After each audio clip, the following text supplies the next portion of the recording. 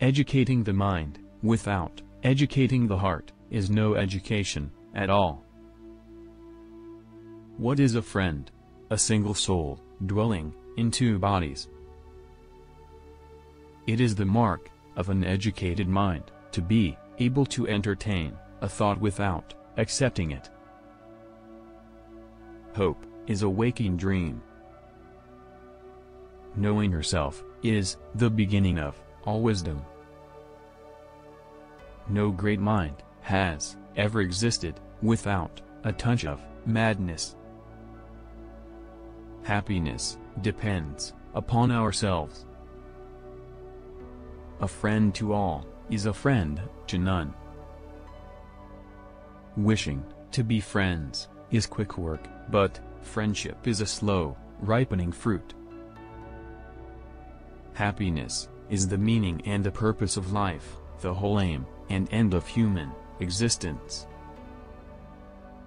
Those, who educate children well, are more, to be honored, than they, who produce them, for these only gave them life, those the art of living, well.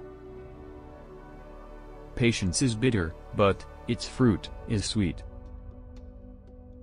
Those who know, do. Those that understand, teach.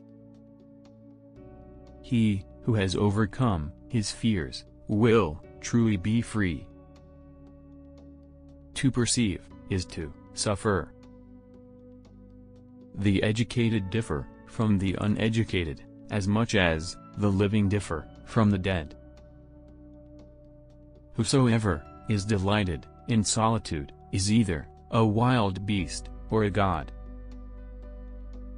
I count him braver, who overcomes, his desires, than him, who conquers, his enemies, for the hardest victory, is, over self.